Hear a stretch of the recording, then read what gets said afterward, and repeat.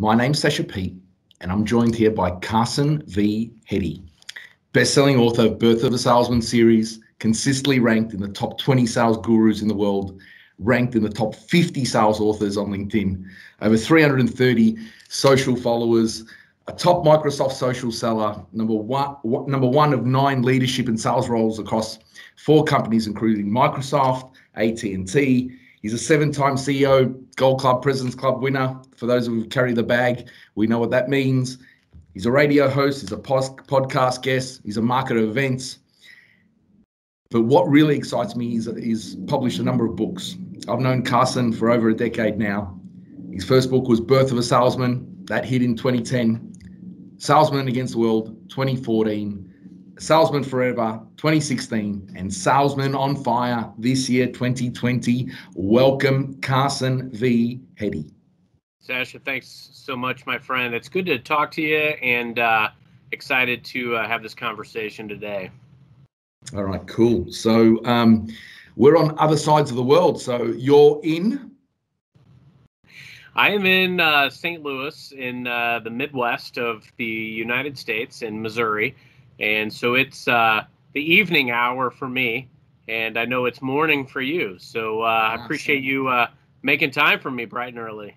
Not a problem. I'm Melbourne born and bred, so the accent. So if you listen to the accent, it's a Western suburbs uh, Melbourne accent. So uh, there we go. So Australia and Midwest USA. So other other sides of the world. So Carson, tell me, you, have carried a bag for a, a, long time. What what what really inspired you to write? That's a great question. Um, I I ran a um, a division for AT and T several years ago, so I've spent a lot of time both in selling and in leading teams. And um, for a while, I led a division, and I was part of a newsletter effort. I wrote uh, newsletter columns and a lot of them were about sales. Um, I'd always wanted to write something, but I didn't really know what that looked like. Um, sales books, there's a lot of them out there, and I knew that I couldn't really compete in that ecosystem to do something better than what had been done unless I did something unique. Uh, so I tried to create more of a parable esque uh, type of story, and the rest is history. I, I basically crafted kind of a book inside a book um, similar to like Five Dysfunctions of a Team, uh, but in essence, it is a, a, sales book written by the fictional author who is the protagonist of the story. Okay, and so what what what is, what is what feedback have you got from people that have that have read the book and and yeah, it's it's been mostly positive. Um, you know, it's been quite a journey. I think what's what I talk about these days is mostly about brand and how important your personal brand is uh, mm-hmm. because you're your first and most important product. Um, so whether you're looking for a new role or whether you're growing in your career, you're always kind of looking for that. What's your differentiating factor? What's your superpower? And that's frankly what my book has been for me in my career. Um, mm-hmm. I was laid off several years ago, and uh, you know I can trace back uh, through my career journey where the book took me. I was noticed for another role because I had written a book. That's what made my resume stand out.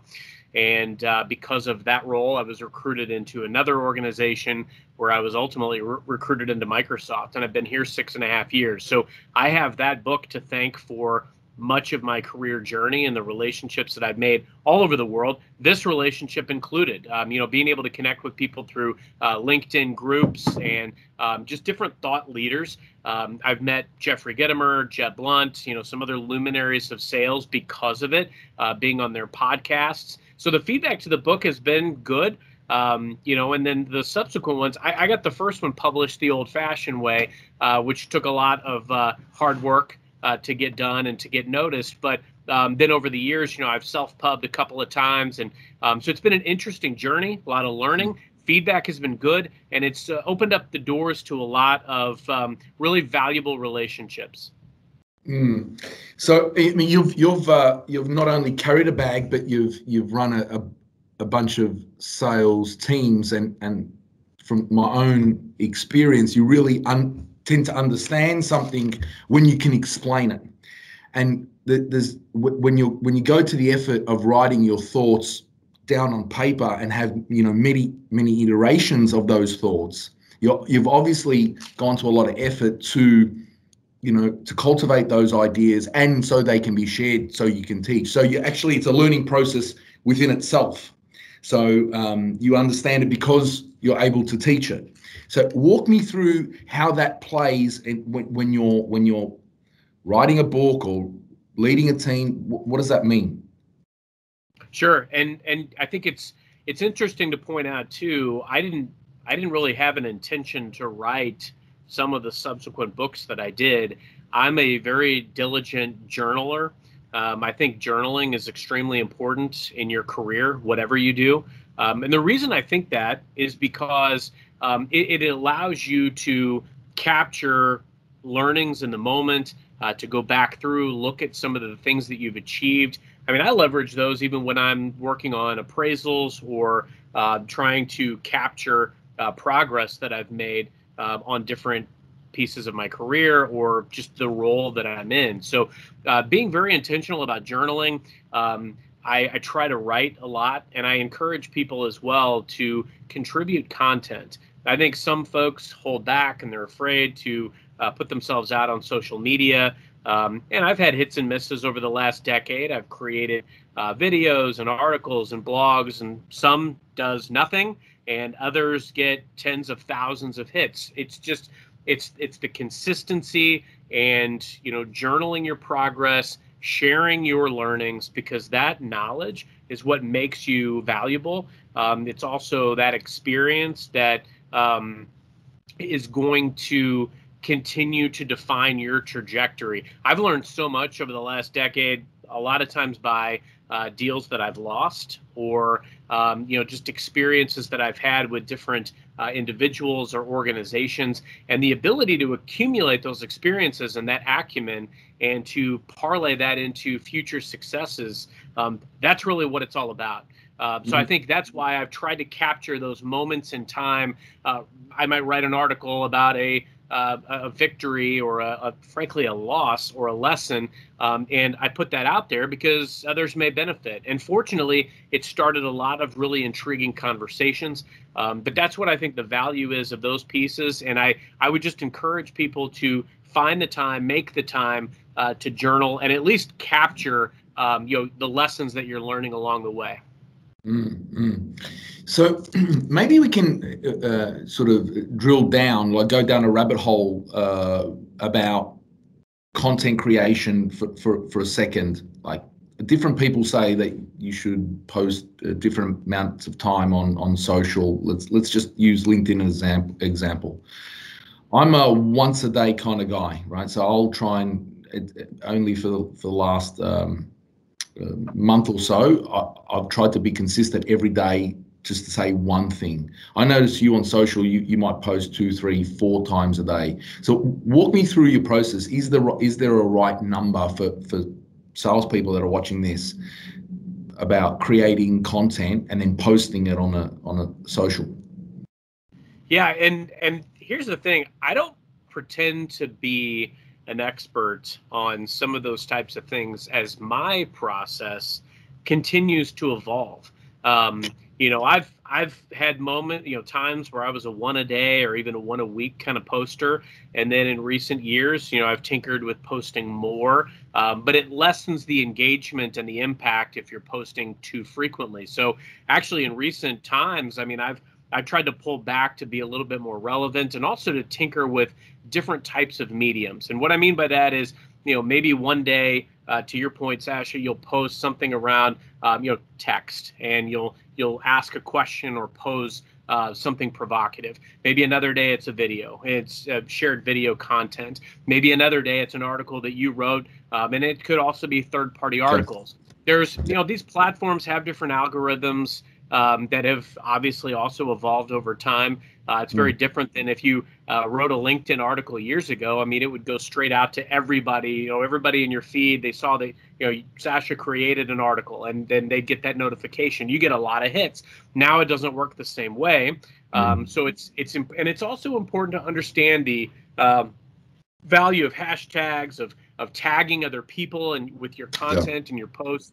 Uh, but I think it really depends too with LinkedIn, you know, I've typically seen posting maybe once or twice a day um, versus like a Twitter where you may post a, you know, half dozen times a day. Uh, very different approaches, but um, those things are ever evolving, and that's why I would encourage people to do uh, some research, but also be don't be afraid to uh, to tinker and see what kind of results you get. I think I think that's a that's a really good point. It's the idea of experimenting, right? We're all learning. This is this is this is an ever changing landscape, and anyone who says that they know where, what where north is pointed, you know, where the where the gold uh, where the gold is in them hills, probably doesn't know, right? We're all we're all trying to work our way through this. Um, so yeah, great point. Uh, so, what advice do you have for young people who want to enter sales? Be a sponge be humble, soak up as much as you possibly can. There's a real value in knowing what you don't know. And it was fascinating for me as I've transitioned throughout my career. You know, I've been in uh, phone sales, inbound, outbound. I've been in tele- telecom. I've been in wireless. I've been in uh, advertising, and now in technology. And you know, no matter what your vertical is or what your discipline is, I think it's really important to make sure that you gravitate toward people that are doing well and that are doing what you want to do. And that's both as a peer, uh, but also as leaders. Um, you know, you want to gravitate toward, um, you know, frankly, mentors or other leaders in the business that can help tutor you and lead you down the path or set forth some of the milestones that you're going to want to hit in your career to get uh, your career goals achieved. Um, you know, when I was in my younger days and I was leading a division at a relatively young age, um, I had a very different worldview. I thought I uh, I thought I knew a lot more than I did. And it wasn't until I was much older and, and actually joined Microsoft, surrounded by so many brilliant people, that I hmm. realized mm. just how um, just how much of a cog in the wheel, or you know, to use a basketball term, a, I felt like a sixth man. You know, I was there. I was just hoping to contribute, and uh, I knew that I had some good good things that I could bring to the table. So I think again, talking about what we talked about before, I encourage you to find your superpower and figure out what you're good at, what you think you bring to the table, leverage that tool, but be a sponge and soak up as much you, as you can from the other folks that are doing things that you do very well. Um, I always tried to pick up different best practices from different people. If somebody was saying this on the call, I can do that. I can say that. I can assimilate that and make it part of my process. And no matter what your role is, and especially if you're starting out, that should be your goal. Figure out what other people are doing and what they're doing well, and then how can you make that a part of your process? And yeah. and frankly, everything in sales centers on people and process. It's all about relationships. It's all about making sure that you put your your customer and your company at the heart of everything you're doing. Obviously, taking into consideration how you get paid. Um, I like to I call that the the sales trinity: the customer, the company, and you all three have to benefit from everything that you're doing, but you want to make the customer really at the heart of your endeavor. Process is also very important. I mean, you can have the right people doing a process, but if it's not evolving and if it's not adapting, you know, specifically in light of the pandemic that we're in, um, if you don't change your process given market influencing factors and variables, uh, you're obviously not going to be successful. So it's the right people following the right process uh, with the customer at the heart of everything that you do. And I think the quicker you learn that and you look to add value for everyone that you touch in the sales food chain, customers, colleagues, leaders, if you try to add value to every relationship you're in, you'll be successful. Yeah, how true is that? So I'd like to sort of double click on on a, on a point that you made and echo. You know, I, the, some of my greatest learnings is the one percent about shadowing another rep and hearing the phraseology and they said something or they did something or they answered a customer. I think that is brilliant. You know, I, I I wish I would have thought of that. And my greatest learnings have been with the, the people that I've worked with and said, okay, yeah, I really like how that managing director talked about our history. I'm going to copy that. So it's a really, it's you know, my process is about working out what what what are the one percenters for me that will might add to my experimentation. We talked earlier about experimenting, but really looking at other people around you and is uh, is there something because you can learn from everybody that you work with. Is there something that they say or do, or their mannerisms, or their phraseology, or their customer engagement, whatever, and then incorporating that into your work day? So, thank you very much for that. That's really, really important. Um, so, you touched on uh, the changing nature of sales, right? So we've we've both carried a bag for a very long time, but um, you know, in the last, you know, 2020 has been a shift. You know, I think every every rep that I speak to on the phone, right, 2020 is different to 2019, right? So the way we engage with customers, how we picked up the phone, how we had meetings, our pipeline you know, I worked in I worked in an organisation where the pipeline just fell out of the sky the minute the minute um, the minute uh, COVID hit, and and and literally it cost me my jobs. But the the what would you say that you've found this this changing nature of of what's happened in 2020, and how are you adapting? Yeah, it's uh, it's a great question, and it's one that we obviously all as as sellers have to face. Is this um, this new way of selling. And and frankly, um, there's a, there's a lot of aspects that just become of amplified importance, like creation of relationships and maintaining relationships and keeping customers at the heart of what you're doing. Um, I remember early on in the pandemic, you know, obviously as as you mentioned, I mean, there's a lot of things that that might have been in flight that that stalled or were altogether, you know, became obsolete um, you know, from not only you know people that I've talked to, but also just uh, I, obviously I've talked to a lot of sellers, as do you, and so I think that was kind of the norm. Is that it, it caused a substantial shift in just about everything that was in flight, um, and I think what really became more important was the the relationship and. Um, you know, I remember early on I was uh, leveraging, and you know, again, obviously I work for Microsoft and we now own LinkedIn, uh, but I do use that tool a lot. And uh, just being able to send like LinkedIn videos and, and voice messages to uh, people that I was connected with to check in, make sure they knew I was thinking about them, but it didn't compel them to uh, necessarily respond. It was just kind of a, a personal touch, finding ways to make personal touches, uh, checking on uh, the people that you're connected with, um, making a concerted effort to be you know, a, a human uh, through all this was was more important then than probably ever before. The relationship was always important, but it kind of went up a notch. Um, and even now, there is there's this uh, you know there's there's obviously a lot going on in our world. I think um, never before in sales have I seen such a need to uh, to empathize and to really understand where people are, uh, to take into consideration some of the factors that have impacted the businesses that we're working with. You know, I've worked with small businesses over the years, I've worked with large organizations over the years. And I think there's a very intentional effort right now to make sure that we we we really plug in and understand where they're coming from. Um, what are their new parameters? You know, what uh, how has their budget been impacted? How has their personnel been impacted? And then to add that human element to it. And and there's a patience. There, there's got to be a patience built in. Um, I'm very fortunate to work for an organization that um, has taken that into consideration for employees as well. But I know a lot of salespeople that have lost their jobs through this. And mm. um, so I think more than ever, it's and, and, frankly, you know, I always I consider us to be uh, noble knights of the mm-hmm. selling profession. I think there's a, you know, I love the fact that I've seen a lot of people coming together and really proactively trying to help each other in the selling ecosystem. Um, but that relationship with the customer is still got to be at the heart um, of everything, even though it looks different. Um, mm. And a lot of meetings have switched to virtual.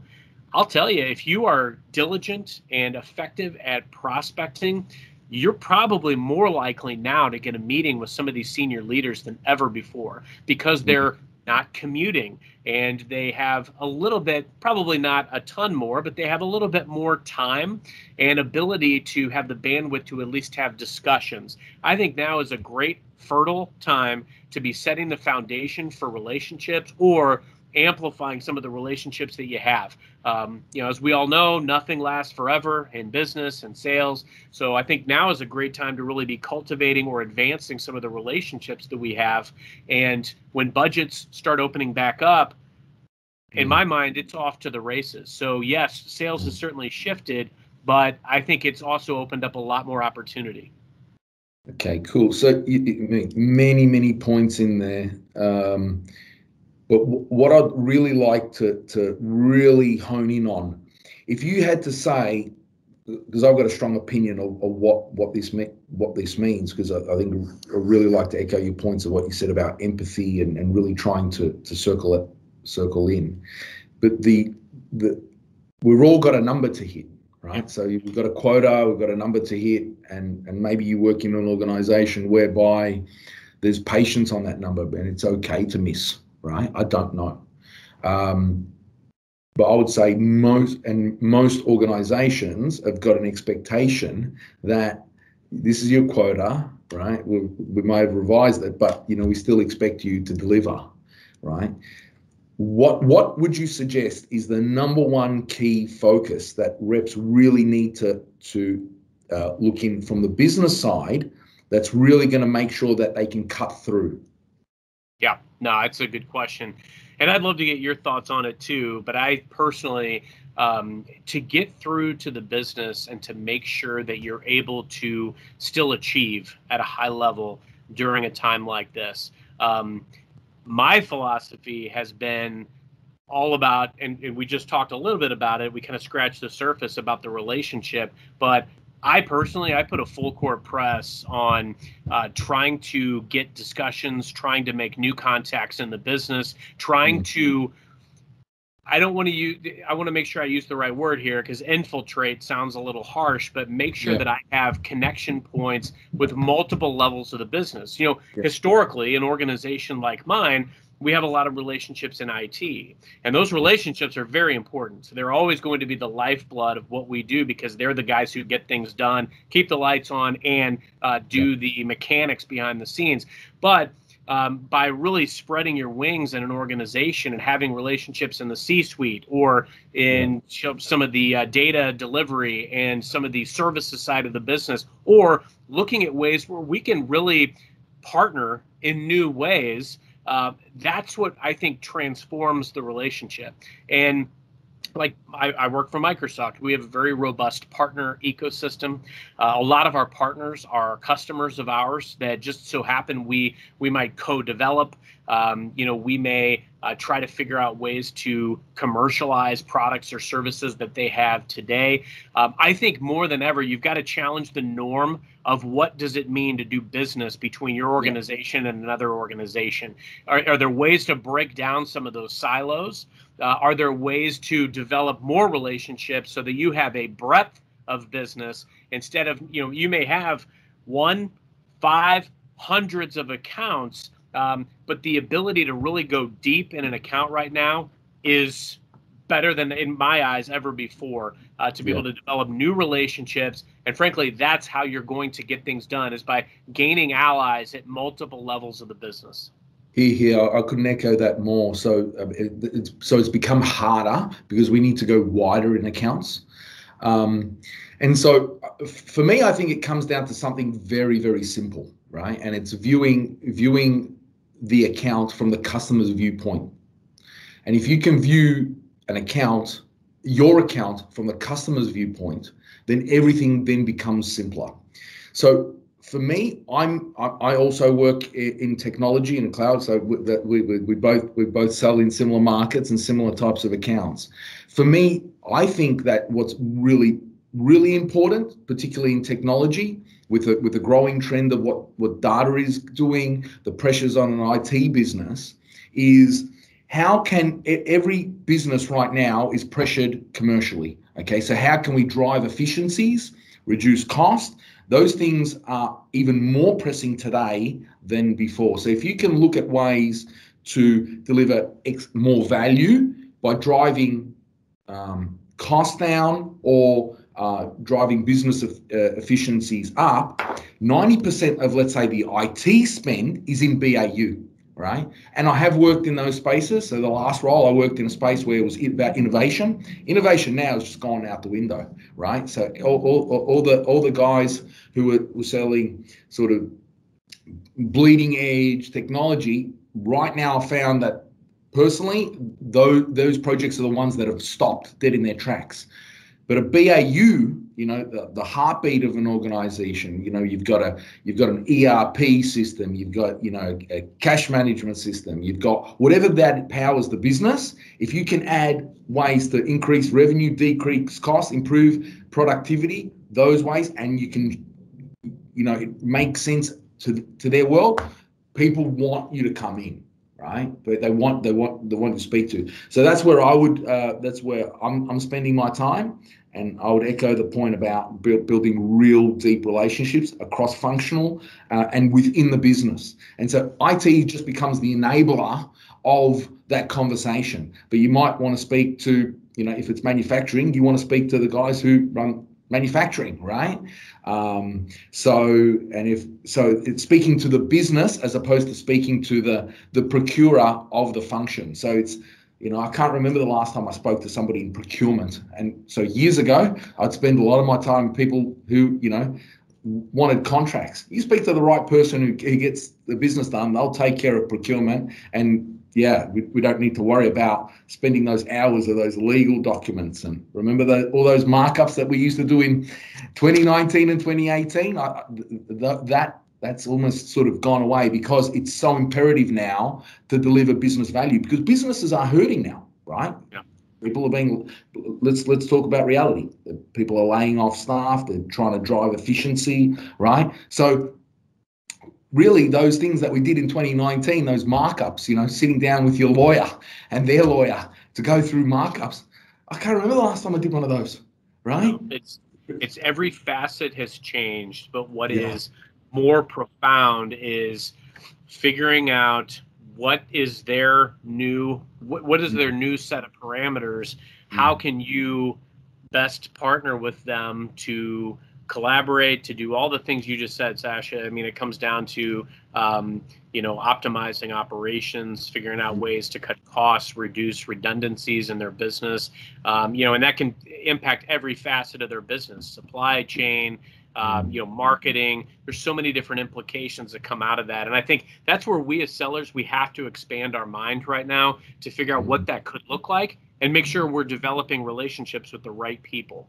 Yeah very true okay so i mean you, you've you, like i said you've, you've been successful uh, throughout your your, biz, your biz, business life um, and you worked with many other successful people what would you say are the key characteristics that define success? Perseverance is uh, is a big one. Um, you know, I've had some some lost deals, some that would be debilitating over the years. Um, you know, and just and changes, unforeseen circumstances in career. You know, we all face different situations where maybe we have um, you know you're you're laid off or you uh, run into a manager that you just don't see eye to eye. Um, I think there's got to be an acceptance that nothing, good or bad, is going to last.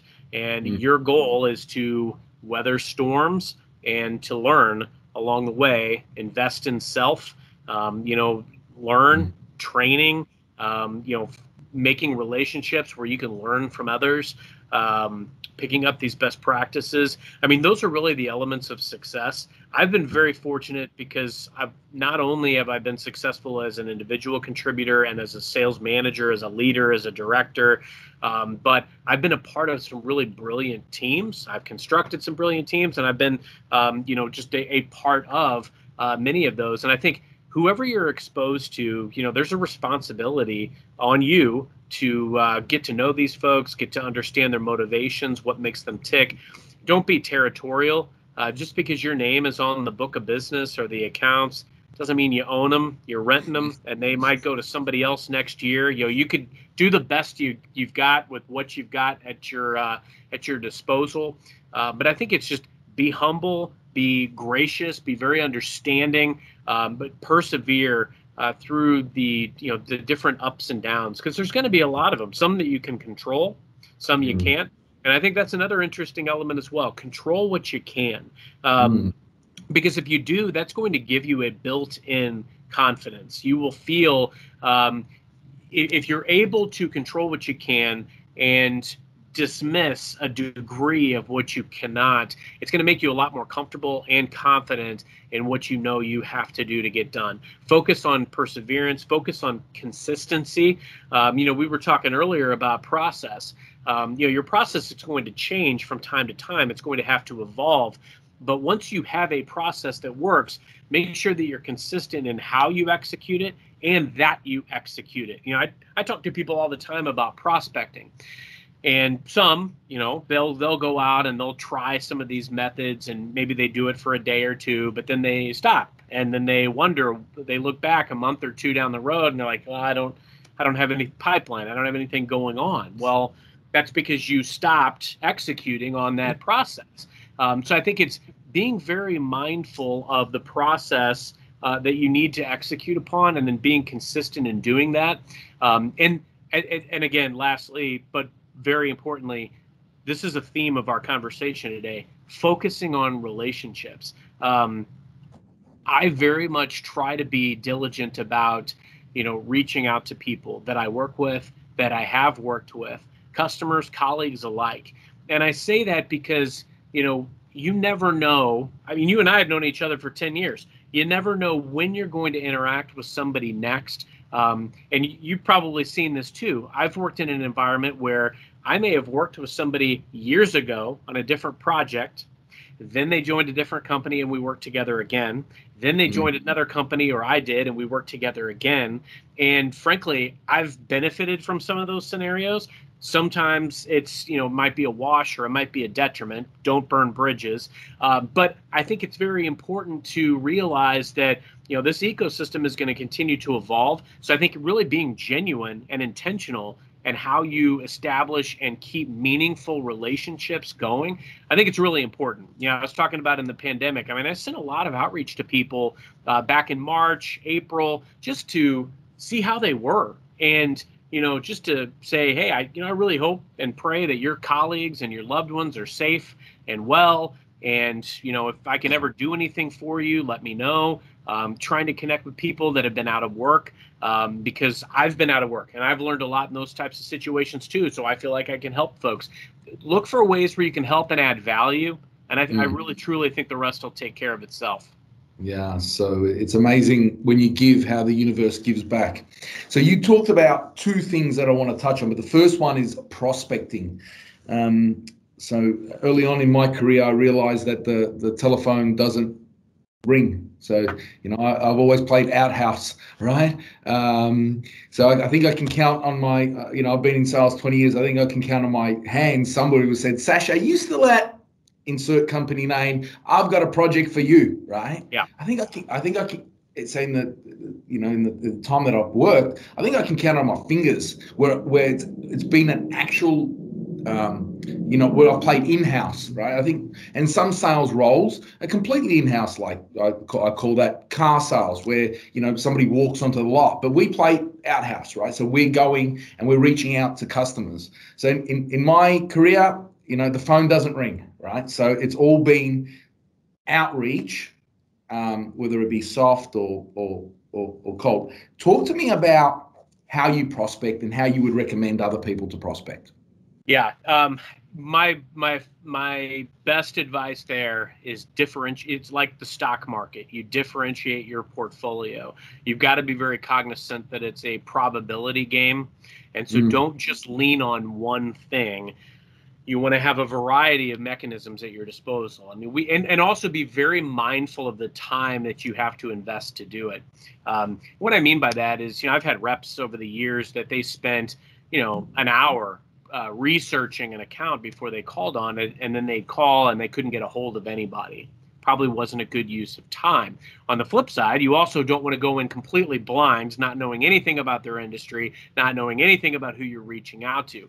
We live in a world where we have all this information at our disposal. I can see where somebody went to college, I can see uh, what hobbies they have. Um, so to be mindful of, hey, I want to have a conversation with this person. Um, but also to be mindful of the amount of time that I want to invest in getting these discussions and the probability that I can get that meeting. That's what you really want to be cognizant of. You also want to realize, look, I'm not I'm not trying to sell anything right out of the gate. I'm trying to mm-hmm. establish a relationship. Frankly, I'm just trying to get a conversation at this point and see if mm-hmm. there's any ability to add value. Now, I know for anybody watching this, they're thinking to themselves, well, you work for Microsoft, it's probably pretty easy for you to get a meeting with somebody.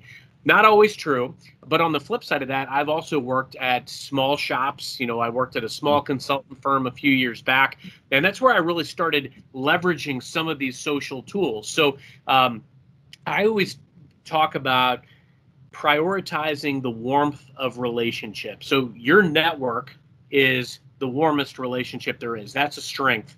Um, that's something you always want to fall back on, whether you're looking for a job or you're trying to develop relationships. So if you see somebody that you know knows somebody you want to talk to, that's the best viability that you have to get in front of that person. Now, the next thing is I, I, I like to set up a, a process, really a system so I have my email alerts, right? So I'll have email alerts about a different organization, or maybe it's a business journal, and so that way I can kind of see what's going on in the territory. That's alerted me of you know changes in the C-suite. So there's new people that I want to reach out to, uh, M&A activities. So if there's a merger, acquisition, uh, different types of compelling events uh, that I can reach out and offer a value or offer a service. So set up these email alerts you know your linkedin sales navigator you can go in set up your account list you can monitor those types of things and personally i play a numbers game when i'm actually going out and doing cold outreach. So I, I do everything i can to see who my network knows.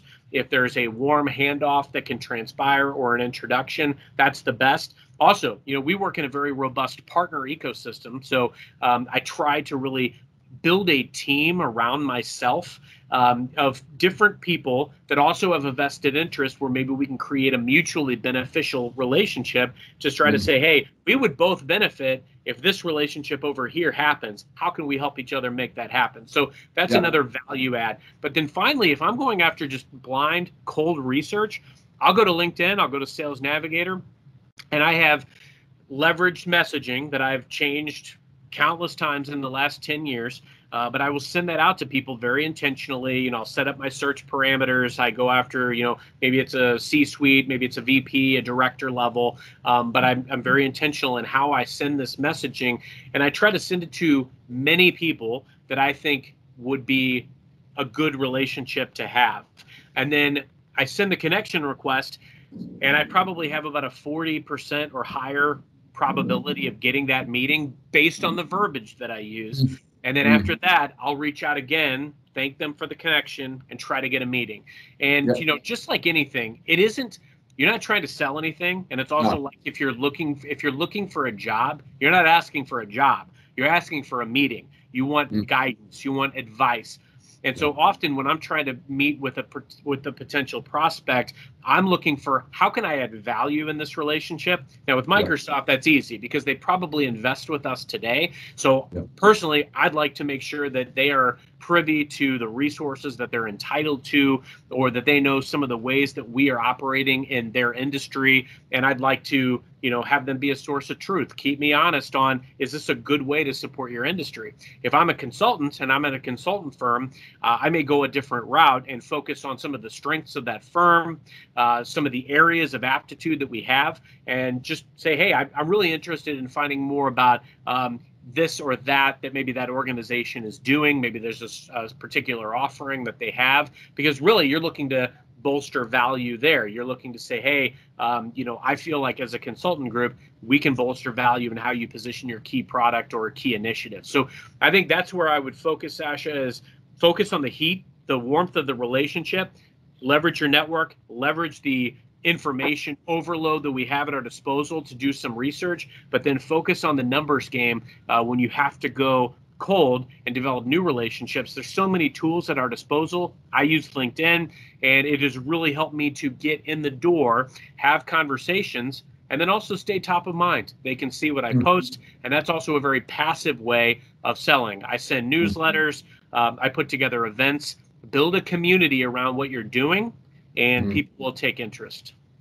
Yeah, fantastic. Uh, so one one thing uh, I'd like to to sort of echo what you what you said. People who have a process and continue to follow that process on outreach, however you want to call it, touching base with prospective customers, are more successful. Right. The amount of the amount of the amount of reps, uh, colleagues that um, that I work with and who choose not to do that then at the end of the year why they're on where they are on the leaderboard it's sort of there's a there's some co- correlation right? So activity will you know get busy and and stuff happens. Um, if you can then get busy and focus that in the right direction then you're probably more likely to to to to to improve that. So and you, you said one important thing for for those of, of us who who uh, run teams. And I'd like to get your thought on on running teams because sort of shift gears for, for those uh, people who are watching this to have a have a, a, a team team based function. They, they carry a, what I call a bigger bag. Um, what are the key things that you're looking for when you're looking to run a team and what makes a successful team successful? Yeah. Oh man, great question. Because teams are so different. Um, and I've seen a lot of managers that have tried to take a cookie cutter approach to how they manage people on their team. Um, I've also seen folks that have tried to coach out, um, you know, lower performers or, um, you know, just manage in a way that almost eliminates what they deem as their weak link. Um, and personally, I, I, think the the most important thing you can do as a leader is to understand your team and how mm-hmm. they tick. Um, I've been really fortunate. I've been you know a leader of teams. I've inherited teams. I've um, you know had a lot of different team iterations that have worked for me over the years. And what I always try to do is make sure I understand um, how they operate, what matters to them, um, yeah. You know, maybe they want to go places, maybe they want to get promoted, maybe they just want to put food on the table. Uh, but whatever it is, I can help them do that. It's my job to remove barriers to their success, remove obstacles, um, give them a roadmap to do whatever they claim they want to do. So you want to get promoted, great. Um, it, it, but there's a lot of folks too that you may manage that they have a great few months and then they think they're ready to get promoted. You also have to ground their expectations and make sure they understand how the game is played. Because um, I think there is a there, there's a value in having real polish and discipline and how you conduct yourself in the business sense. So understand your people, understand what makes them tick, remove barriers, empower them to be successful, and really truly work with them and make sure that they understand that they're part of the solution and the way forward and be transparent. Um, I can say that, you know, the transparent leaders that I've had over my career, I've worked so hard for them because I actually felt like I was trusted mm-hmm. and I felt like I was a part of the process. I felt like I was a part of this magnificent system that was moving forward. I understood it, I plugged in and I saw the value that I could bring uh, to that um, to that endeavor. Um, you know, it's there's more that you cannot control when you're a leader because you obviously can't control the work ethic and the um, the effort that people put into uh, their daily regimen. Uh, you can't control sometimes the people show up to work, and right now, when a lot of people are working remotely, you probably have less control than you've ever had. So there has to be that degree of trust. However, if you do a good job of evangelizing your business and why you're on this journey together, I truly believe if you get the buy in of the people that work for you and they understand that you support them, you've got their back, you're going to help them get where they want to get, wherever that is, they're going to go far for you you know i'm a self-motivated person. I don't need anybody to you know dangle carrots or tell me like hey you do this i'll do that for you i don't need that. I'll get up on my own. I am you know i'm always going to be there and i'm going to be as diligent as humanly possible. However there's a lot of folks that don't necessarily have that but they could. And so mm-hmm. it's important for leaders to understand the potential that exists and to be able to find the right ways to get their buy-in? How do they want to be led? Probably one of my favorite stories ever as a manager was there was a team that years ago uh, it was going to be shut down, um, and it was a team that called on existing customers and you know basically went through their service offerings, what they had, and then attempted to upsell. And this team was going to be shut down. They were doing about 70% to goal every month. Well, uh, before they were shut down, I offered. I said, "Hey, I'll I'll I'll take this team. Let me see what I can do with them."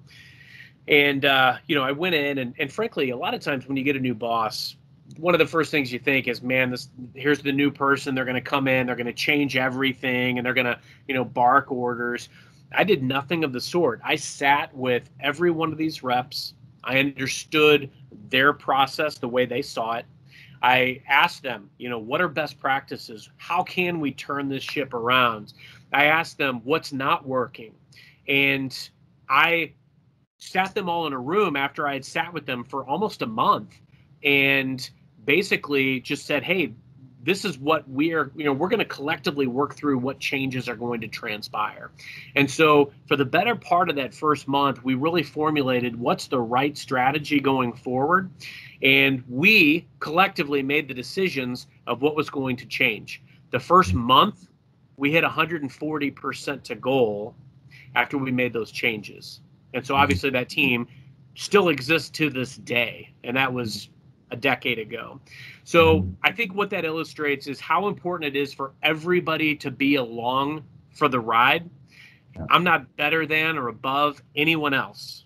It's mm-hmm. my job to make sure that I orchestrate and put into harmony all of the different skills and personalities that are on my team. That I understand what's your superpower, what's my superpower, what's his, hers, let's figure out how we make these work together how do we share best practices collectively and you know i got to tell you sasha i've had teams of 5 10 40 people that worked around over the years and every one of them has been vastly successful because of the people but also that willingness and the ability and the desire to really truly work together, understand each other, what motivates each other, and just be transparent and be people. And sometimes, don't get me wrong, sometimes it doesn't work. Uh, somebody isn't a fit, and we've got to make sure that they find their, their calling is not this role. With you, but yeah.